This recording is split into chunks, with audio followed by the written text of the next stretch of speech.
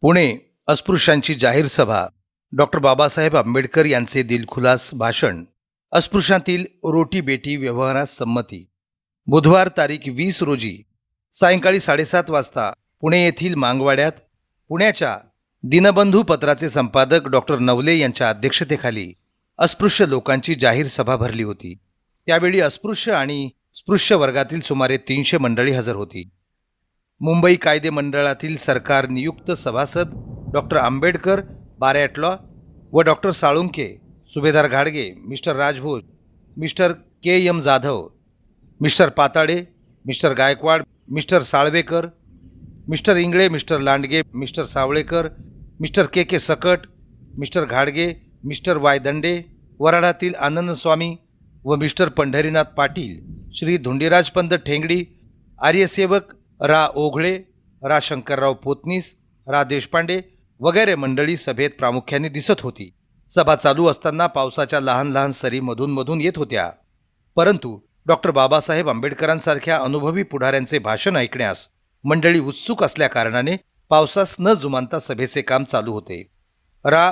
के. M. Jadhav यांच्या सूचनेवरून doctor Navale यांनी अध्यक्षस्थान स्वीकारले.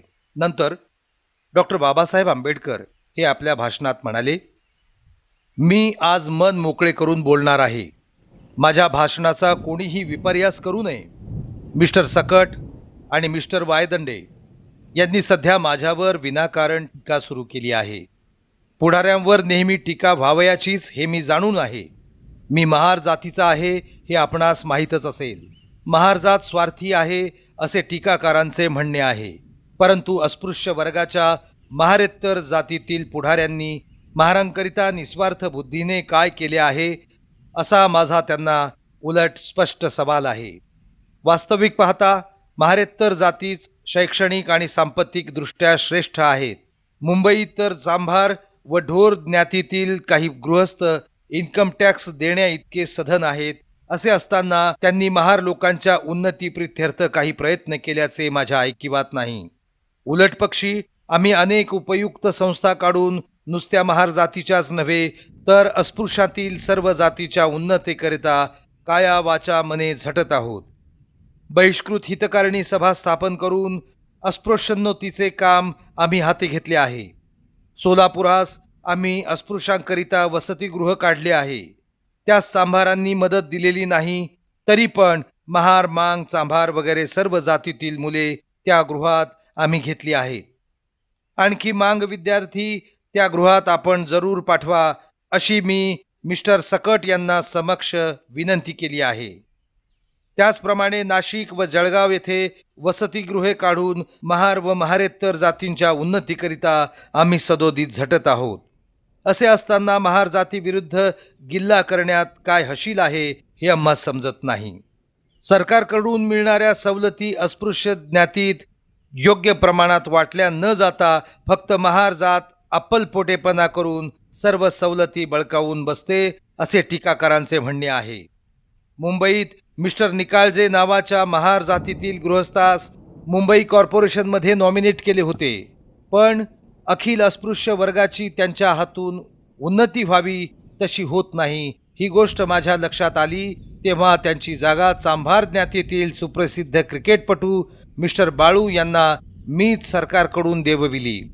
सातारा शहरात महार लोकांची पुष्कळ वस्ती असून सुद्धा तेथील म्युन्सिपालिटीत सरकार नियुक्त सभासद चांभार ज्ञातीतीलच आहेत. या सर्व गोष्टी ध्यानात घेतल्या असता महार ज्ञातीवरील अप्पलपोटेपणाचा आरोप ती फोल आहे हे दिसून येण्यासारखे आहे. काही अज्ञानी महार लोक व्यापक दृष्टीचे नसतील पण एवढ्याच कारणावरून अखिल महार ज्ञातीस दूषण लावणे चांगले नाही. महार जातीतील पुढारी काय करतात ते अवलोकन करा आणि नंतर दूषणे देण्यास पुढे या असे माझे इतर ज्ञातीतील लोकांना आग्रहाचे सांगणे आहे. मी स्वतः मांग जातीशी रोटी बेटी व्यवहार करावयास तयार आहे अशी स्थिती असताना महार मांगात तेढ का असावी हे समजत नाही. मी स्वतः माझ्या घरी मांगाचा एक मुलगा पोटच्या पोराप्रमाणे पाळला होता. अजून कोणी जर मला एखादा मांगाचा मुलगा आणून देईल तर मी त्याचे पालन पोषण करीन. आम्ही नुसते बोलके पुढारी नसून प्रत्येक गोष्ट कृतीत करून दाखवितो.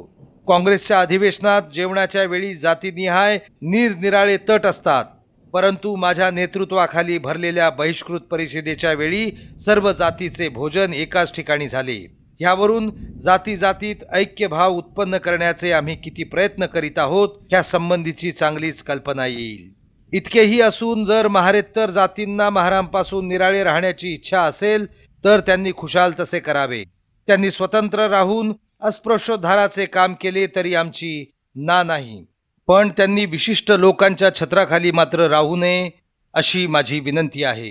काही ब्राह्मण अस्पृश्योद्धारांकरिता झटतात ही गोष्ट खरी असली तरी पुष्कळसे ब्राह्मण ब्राह्मणेतर पक्षापेक्षा आपला पक्ष बलवान करण्याकरिताच अस्पृश्यांना जवळ करतात असे मला वाटते. आमच्या उद्धाराकरिताच केवळ निस्वार्थ बुद्धीने जो ब्राह्मण अथवा मराठा प्रयत्न करील तोच आम्हास हवा आहे. आम्हाला दुसऱ्याच्या हातातील कोलीत होण्याची इच्छा नाही. स्वार्थ बुद्धीने प्रेरित झालेल्या लोकांकडून अस्पृश्यता निवारणाचे कार्य न झाले तरी एक वेळ चिंता नाही. कारण अस्पृश्य राहून मिळणाऱ्या सवलतींच्या सहाय्याने आमची उन्नती करून घेणेच आम्हा सुलभ होईल असे मला वाटते. अस्पृश्यता निवारण करण्याचा रा माटे यांचा खरोखरीचा उद्देश नाही असे मला वाटते. अस्पृश्यांना जवळ करून ब्राह्मणेतरांना शह देण्याची त्यांची खटपट आहे अशी माझी समजूत आहे.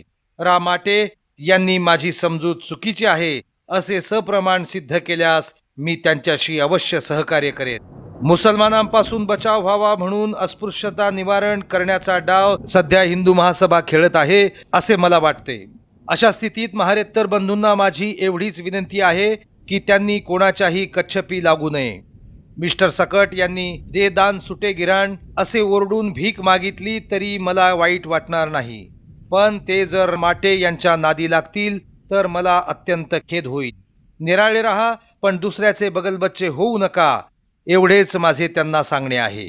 महार जातीचे पुढारीच कौन्सिलमधील जागा बळकावून बसतात असा आमचेवर आक्षेप आहे. अस्पृश्यांच्या हक्कांचे संरक्षण करण्याकरिता कौन्सिलात लायक माणसेच जाणे इष्ट नाही काय? महारेत्तरात माझ्यासारखा माणूस जन्मला नाही हे त्यांचेच दुर्दैव होय. परंतु मला कौन्सिलच्या जागेची अभिलाषा नाही. महारेत्तरात जर जास्त लायक माणूस असेल तर त्याने खुशाल माझी जागा घ्यावी.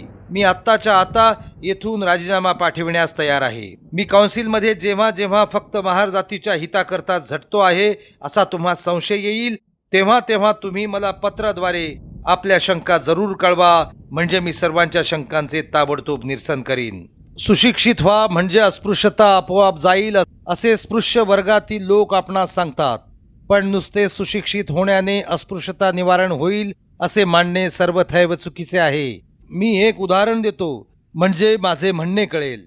मी अस्पृश्य आहे हे जोपर्यंत मुंबईच्या माझ्या चेंबर नजीक असणाऱ्या भटाला खानावळवाल्याला माहीत नव्हते तोपर्यंत तो मला त्याच्या कब्बशीतून चहा व भजी पुरवीत असे. पण परवा मी अस्पृश्य आहे असे जेव्हा त्याला एका गुजराती वृत्तपत्रात प्रसिद्ध झालेल्या फोटोवरून कळले तेव्हापासून तो मला काचेच्या पेल्यातून चहा देऊ लागला.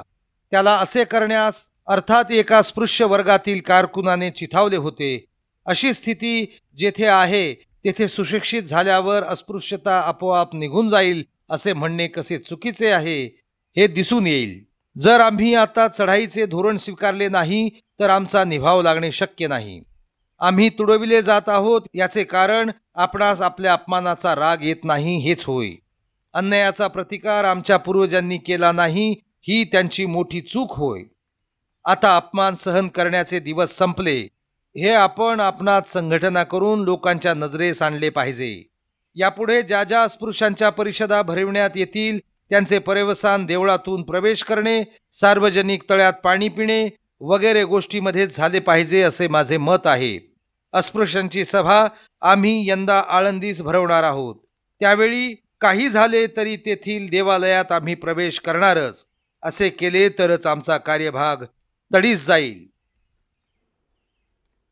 डॉक्टर सोळंकी यांची सहानुभूती. डॉक्टर आंबेडकर यांचे वरील आशयाचे भाषण झाल्यावर डॉक्टर सोळंकी यांनी आपले थोडे भाषण करून गुजरात येथील अस्पृश्यांची महाराष्ट्रातील अस्पृश्यांच्या चळवळीस पूर्ण सहानुभूती आहे अशी ग्वाही दिली.